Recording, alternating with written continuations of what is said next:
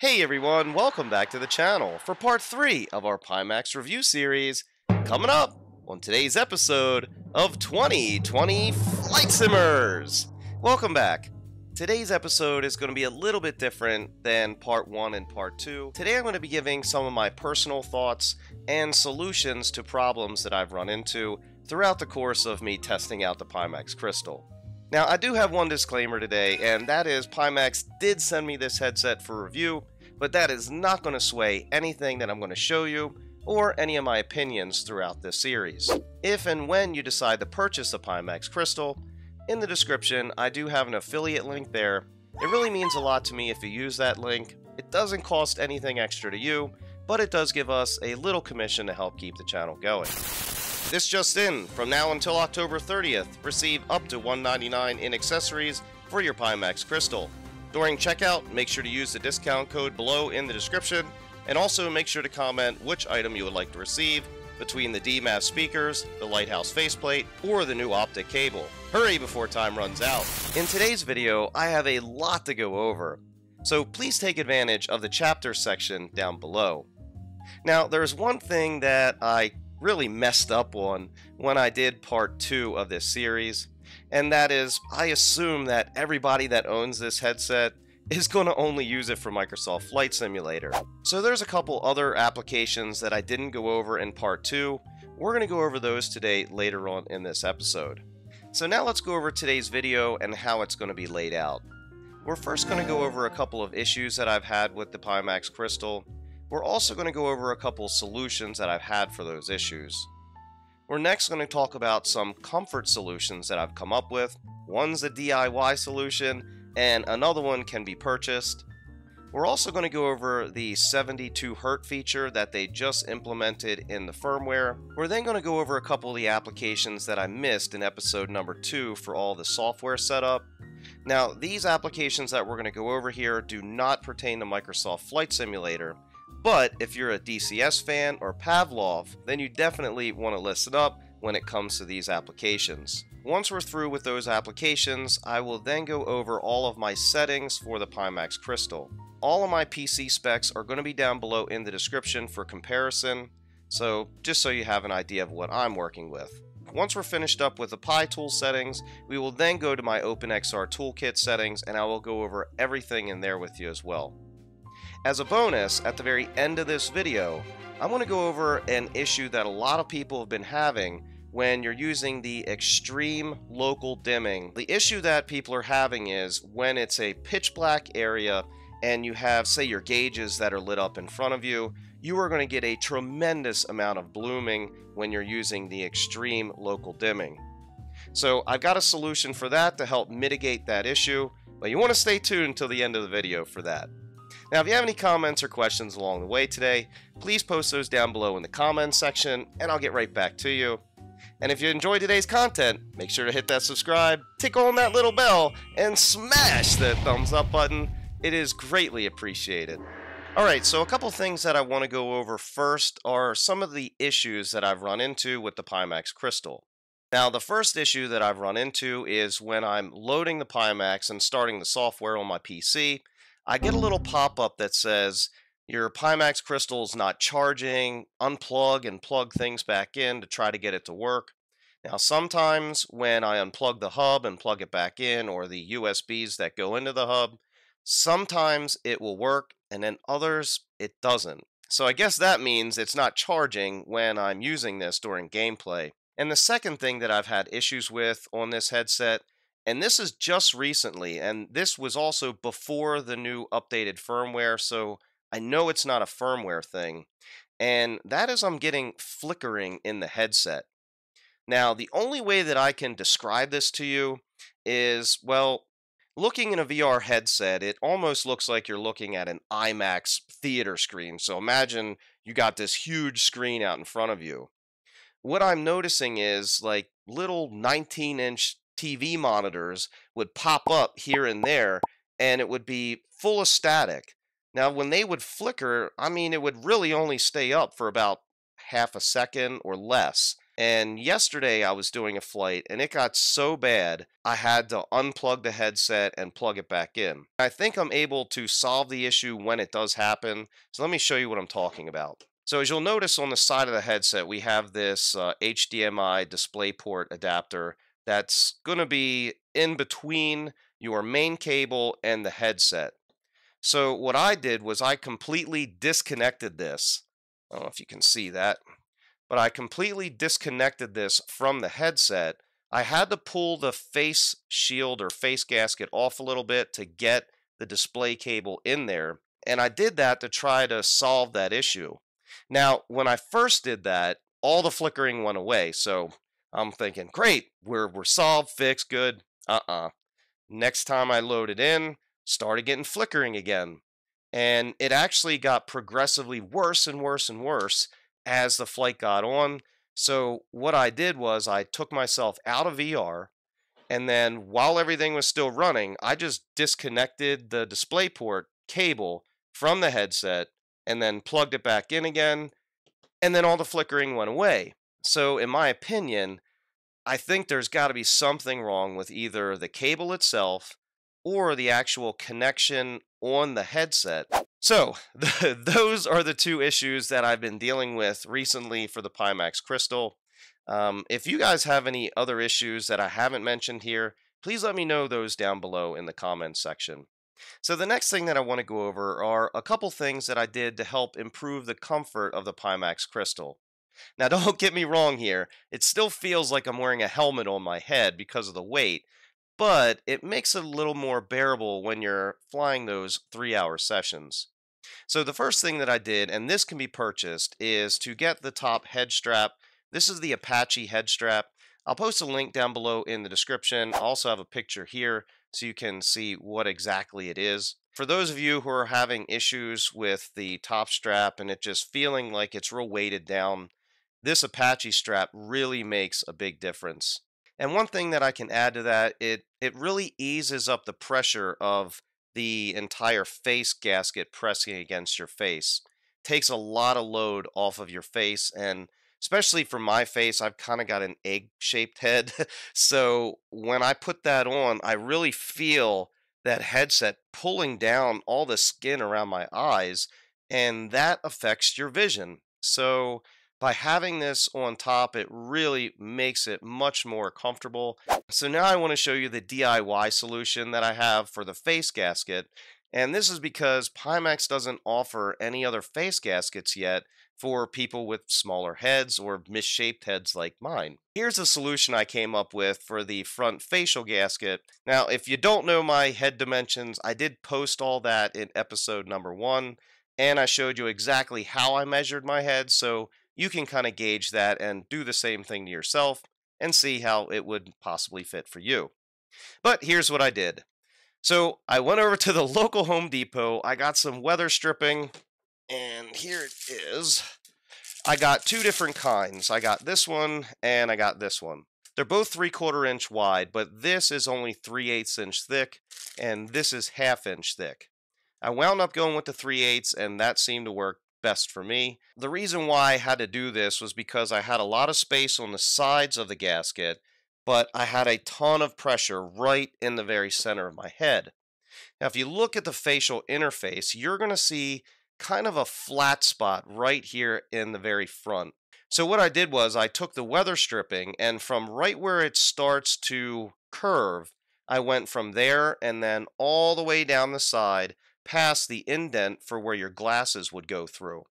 And I did that on both sides all the way down and left the very center of that flat part there because that's what was hitting my head. So I didn't need to take up any space there. And then all I did was just fill in all the extra area. I cut some to fit. And uh, that's been the best solution that I've had so far for the headset. And it makes it very comfortable now uh, when I'm using it for those longer sessions. So just a tip, if anybody else has issues with comfort, those are the two things that I could recommend for the headset. All right, so the next thing I want to talk about is that new 72 Hertz feature in the PiTool software. Now, this is supposed to be for flight simmers to help with frame rate and help with performance inside the headset. I have tested all of the selections that we have available 72, 90, and 120. Now, I tested 90 and 120 before the new update that I just did yesterday. And when I was testing between the two, I did not notice any noticeable difference in frame rate, performance, or anything.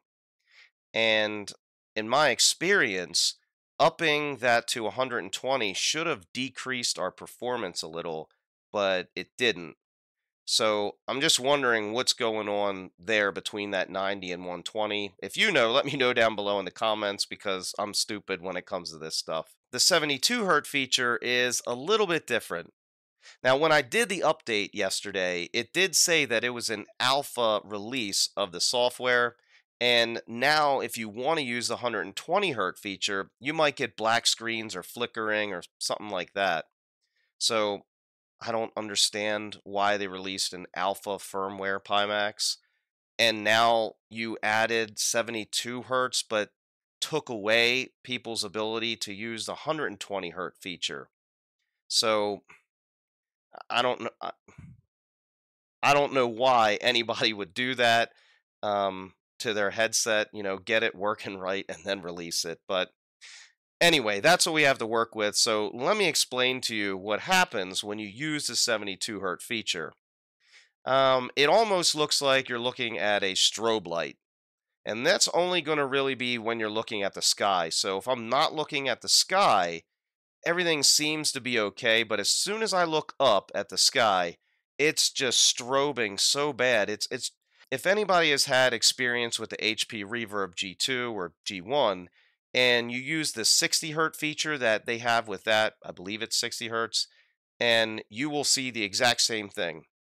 Um, or at least most people have seen the exact same thing, is that strobing effect that you get, and that really messes with you.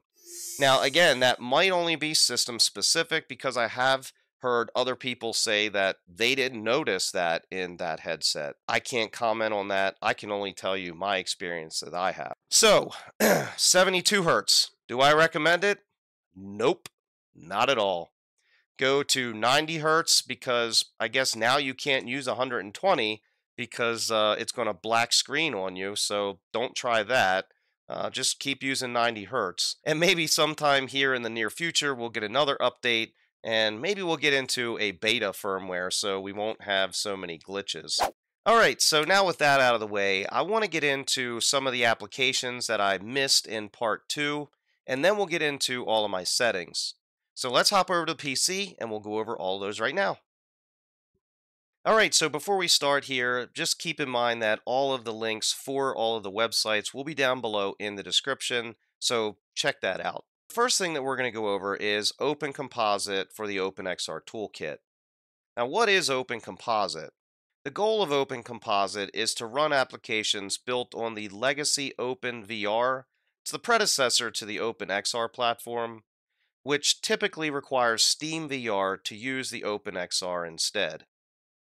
The diagram that you're going to see here below shows how games developed for OpenXR and OpenVR typically operate. The diagram down here below will show you how Open Composite enables applications built for OpenVR to bypass SteamVR and take advantage of the OpenXR and OpenXR toolkit. So now what headsets are compatible with Open Composite? If we scroll down a little bit, you will see the headset compatibility for pretty much all of the mainstream headsets that are out there. Now, in this list, it will tell us if it has native OpenXR support and if it allows the use of OpenXR. All the way on the very end, this is the installation method, and you will see that the install for OpenComposite can be different between the different headsets. So make sure that you choose the correct installation method for your headset. So now you might ask, why do I need the OpenComposite application? Well, first, you have to know the goal of the OpenXR toolkit, and that's to add functionality to OpenXR applications. However, not all the applications are written for OpenXR. So therefore, the OpenXR toolkit cannot be used with those applications unless they use a broker application like OpenComposite to help link these apps together. So think of it that way. It's the middleman to help you be able to use the OpenXR toolkit on non-OpenXR applications. So now, what are some of the non-OpenXR applications? If we scroll down even further, you will see the game compatibility below. Now there is a bunch of games here and simulators that OpenComposite is used for, and you can check the different columns here to see what you need and what is available for each simulator or game. Now if we scroll down even further on this page, it will give us some step-by-step -step guides on how to use OpenComposite. We also have an alternative install method, so you can do this by game, or you can do this system-wide. Also, if you would like some more information about OpenComposite, if you click on the link here above, it will take you to a GitHub page and where this will also go over some game compatibility, downloading and installation instructions, and per game installation as well. I'm not going to go over how to download and install all this and set it up because I don't use anything other than Microsoft Flight Simulator. But if you follow all the instructions here, I feel that they've given us sufficient information to get everything running on your system. The next application that I want to go over is in the Pimax XR runtime application. If we go all the way down to the center of the application, you will see Enable Quad View Rendering with supported applications. Ah, so what is Quad View Rendering? Quad View Rendering is sometimes referred to as multi-projection or dynamic projection is a rendering technique that an application may use to implement foveated rendering. Typical with stereo rendering, the application will draw two views, one from the perspective of the left eye and one from the perspective of the right eye. With the typical stereo rendering, the application will render each eye at full resolution for the entire screen, or whichever render scale you're using. Now, with quad view rendering, the application draws two views, the outer view or peripheral view, with the full field of view and two additional views, inner views and foveated views or focus views, with a smaller FOV typically centered around where the eyes are looking in the scene. The resolution of each set of views can be set differently, typically a higher resolution for the inner views. So now instead of only having two views in our headset and then rendering each of those views with different circular patterns to help with foveated rendering, this is now going to render four views. So that's why they call it quad view rendering.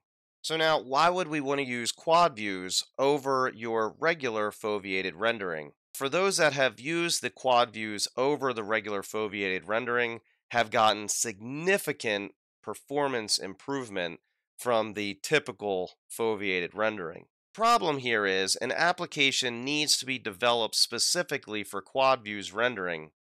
It is not a style of programming that your platform, say Oculus or Pimax, can simply force into the application. So in saying that, I've also got a link here for Microsoft Flight Simulator, and if we take a look at that, unfortunately, we cannot use the quad views in Microsoft Flight Simulator. But we do have the ability to use quad views in DCS World as well as Pavlov VR. So now, is your headset compatible with quad views?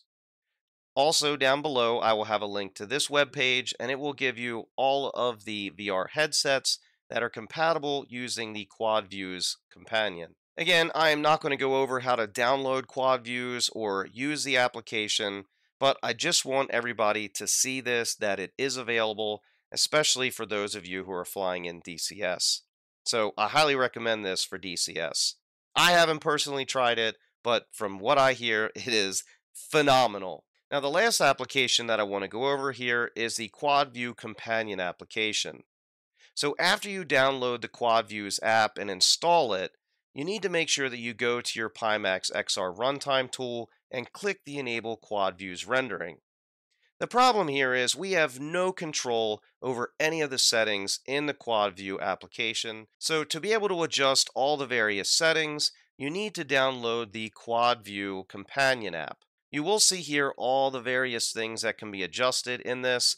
Again, I'm not going to go over any of these because it is not compatible with Microsoft Flight Simulator, thus I have no use for it. Alright, so now let's get into the meat and potatoes of this episode, and that is all of my settings for the Pimax Crystal. So let's start off in the device menu.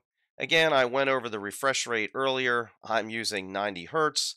I do not check auto IPD adjust as I found that it does not adjust my IPD correctly. I also have the wearing indicator reminder. So this way when you put on the headset, it'll tell you whether you need to pull it down or put it up. If you don't want that indicator popping up, here's where you can turn that off. Also make sure that you do an eye calibration once you set your IPD.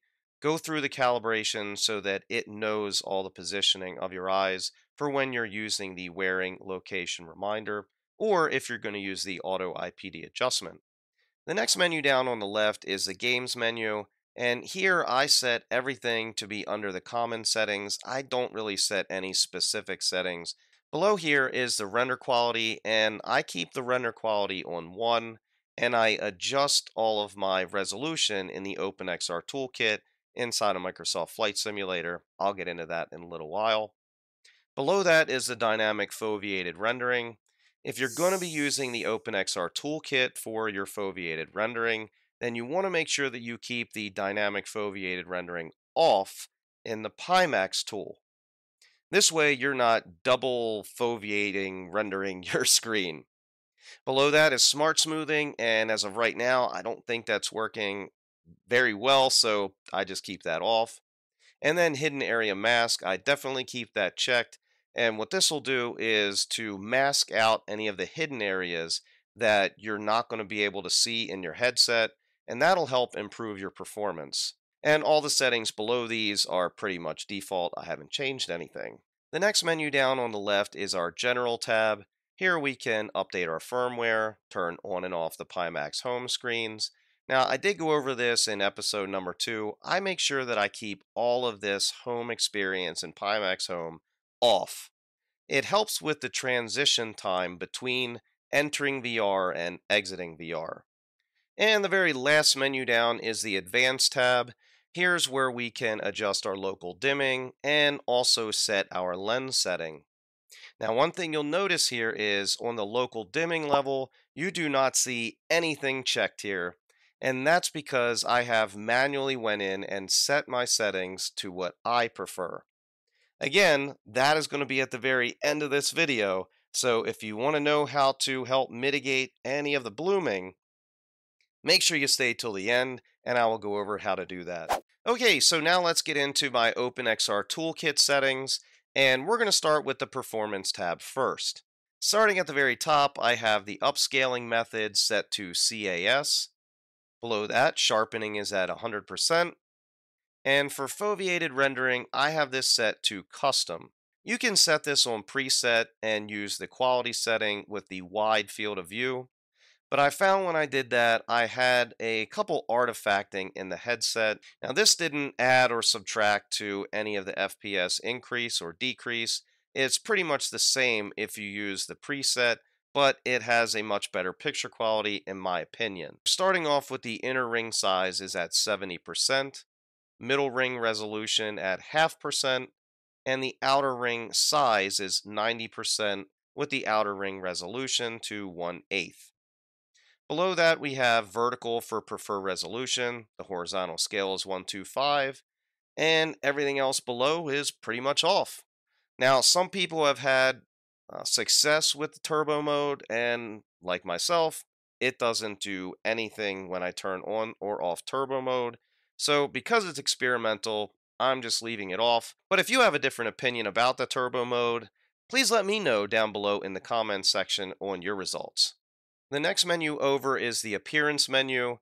Now, I know this isn't going to have anything to do with performance, but this does enhance the colors inside of your Pimax crystal even more. So you can pause the screen here and try out these settings here. And if you turn on and off post-processing, you will see inside the sim that there is a very, very slight difference but the difference, I feel, makes it a little bit more lifelike. Let me know if you try these settings out below, and uh, let me know what your thoughts are. The very last menu we're going to go over is the Systems menu, And here's where we're able to override the resolution of the Pi tool. So you want to make sure that you tick yes for override resolution. And for those of you who are using a 3080 Ti, I would recommend to use 3100 or less. Going over 3100, I found added a little bit more lag to what I talked about in episode number two, which was the sides of my screen kind of stuttering behind when I turn my head. Below that, everything is pretty much stock, so that's it. Those are all my settings. Now, for those of you who are interested in my Microsoft Flight Simulator settings, as well as my NVIDIA control panel settings, I'm not going to go over those here because I've gone over those many times already in the past, and I haven't changed any of those. So I'll post a link down below in the description for a video on all of my settings for Microsoft Flight Simulator.